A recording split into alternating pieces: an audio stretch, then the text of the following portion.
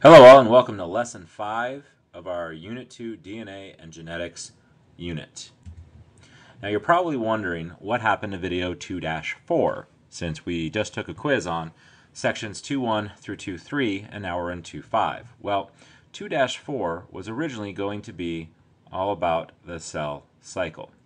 But I decided that since the cell cycle is kind of just an intro to mitosis, that I would go ahead and lump the two together. So cell cycle is what 2-4 was going to be, and now we're really just talking about 2-5 or mitosis. So the cell cycle consists of several phases. We have the cell's interphase, so that's this long loop. Pretty much interphase is everything that's not mitosis or cytokinesis. That whole thing, that's interphase. We have G1, which is growth period number one. The cell grows large enough to allow for DNA to replicate itself during the S phase. And then the cell grows again during the G2 phase. And finally, the cell enters mitosis, which is the division of cells from one cell to two. And then the cell goes back into interphase and continues on in the circular pattern of the cell cycle for its entire life. So let's review what a chromosome is. This is our chromosome of a eukaryote. I say it's a eukaryote because it's X-shaped. Remember, if it was a prokaryote, it would be circular in form. We have two sister chromatids. That's going to be, if I were to cut the chromosome in half at this point, this would be a chromatid, this is a chromatid, this whole thing is called a chromosome. The doodad in the middle, a little button looking thing, is called a centromere. Okay, thing in the middle is called a centromere. And then this central area, this part right in here, that is the kinetochore. Okay, so centromere is the center part of a chromosome, and this middle part, this whole region, is called the kinetochore. This thing right in here. Okay, and the kinetochore is important in the next couple of steps, so keep that in mind.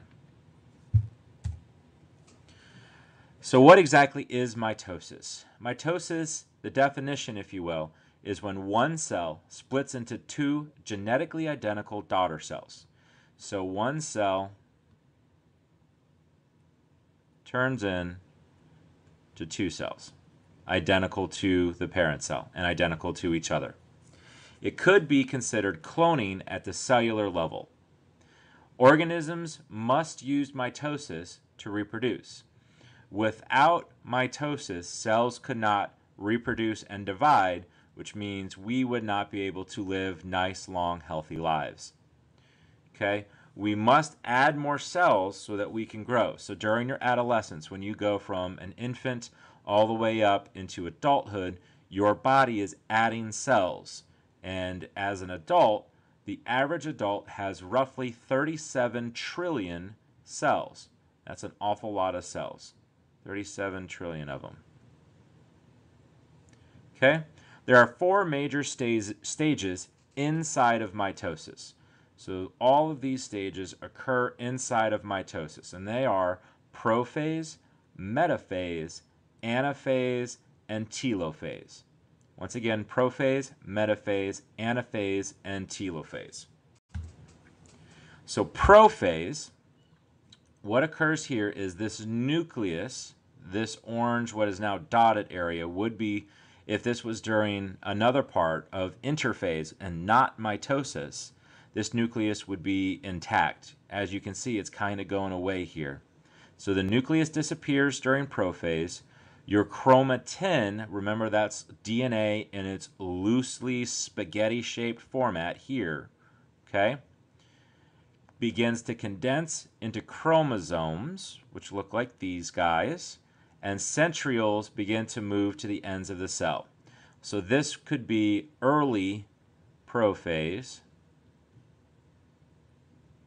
and this is late prophase. This is the same cell at the beginning of prophase. We have loose chromatin, we have a nucleus still, and we have these little centriole things, these guys right here. and they begin to pull away from each other and they go to the end of the cell. So eventually, these centrioles are going to be on exact opposites of the cell. You can see towards late prophase, our DNA has condensed down from loose chromatin into a chromosome. Our nucleus is going away, and our centrioles are getting further apart. In metaphase, we now have our condensed chromosomes lining up in the center of the cell. So along this central axis right here. Okay. And you have these spindle fibers, which are these guys. Let me change colors here. Spindle fibers, which are those guys, coming off the centrioles. Remember, these are the centrioles. You have spindle fibers coming out and attaching to the kinetochore. Remember, I said that was important the spindle fibers connect to the kinetochore, which is close to the middle of the chromosomes, and that way the spindle fibers will be able to pull apart the chromosomes into their sister chromatids. So a quick way to remember metaphase is that metaphase results in chromosomes in the middle. So metaphase equals middle. Okay? In anaphase, we actually have separation of the sister chromatids. So as you can see in metaphase, uh, or in the uh, during metaphase, you'll have the chromosomes still intact with one another, and during anaphase, the spindle fibers which attach during metaphase pull apart the sister chromatids. So now instead of having an X, there's one chromatid, there's the other chromatid. Okay, here's my chromosome. Instead of having this, where they're all attached, we now have a separation of the sister chromatids. So again, during anaphase, chromosomes get pulled apart. Okay, so chromosomes are pulled towards the centrioles, which again, these are the little centrioles. In telophase, our last of the four major phases of metaphase, the cytoplasm begins to pinch together on the outside. So it begins to pinch together on both of the outsides. That's the cytoplasm. Okay? The nucleus begins to reform again. The chromosomes begin to unwind. And when chromosomes unwind, we end up with chromatin again. And then the new daughter cells, which these will eventually, this uh, cell membrane will completely separate during cytokinesis, and we will have two brand new daughter cells where we had one before. Okay? So mitosis looks a little bit different whether you're a plant or an animal. In plant mitosis, you don't have the spindle fibers. Those were the things that were attached from the centriole. So if I have a centriole here, and the little spindle fibers come out and attach to my sister chromatids, Again, my art skills are just phenomenal, I know. Okay?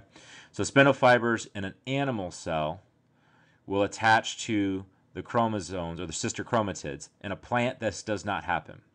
The cytoplasm during telophase also does not pinch in in a plant. Instead of the cytoplasm pinching in, we actually just have a new cell wall growing because remember, plant cells are very rigid. They're like squares. Okay? So when we have replication or mitosis in a plant cell, instead of cytoplasm pinching in in this direction, we just have a new cell wall growing in the middle. And then that'll be two separate cells then. Okay? So no centrioles, no spindle fibers, new cell wall growth. Okay? And in animals, we do have centrioles, we do have centrosomes, which is another name for spindle fibers, and we do have cytoplasm that pinches in, no cell plate or cell wall. Okay, cell plate is another way to say wall. And that is the difference between plant and animal mitosis. Okay, and it looks like that is going to be our last slide of the lecture. And for those of you just waiting and waiting and waiting what our secret number is, that secret number today is going to be 32. So our video secret number is 32. Hopefully you like this new format, and uh, I look forward to seeing you guys in class and getting your feedback and we'll see you soon. Thanks for watching.